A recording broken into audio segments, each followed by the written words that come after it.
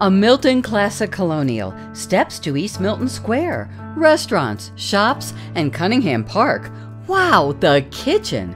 A gas fireplace. To see this home in person, call Theresa Donovan.